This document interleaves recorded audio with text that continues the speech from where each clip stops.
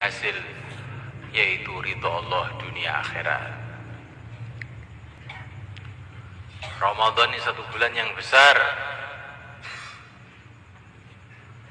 yang dikatakan dalam Al-Quranul Karim kutiba alaikumusiyam kama kutiba ala alladhina min qablikum la'allakum tattaqun telah diwajibkan kepada kamu puasa sebagaimana telah diwajibkan puasa kepada umat sebelum kamu agar supaya kamu takwa.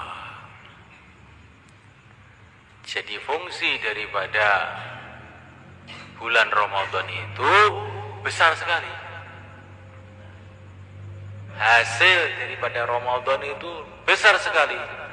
La'allakum tattaqun supaya kamu takwa. Tentu kalau bulan Ramadan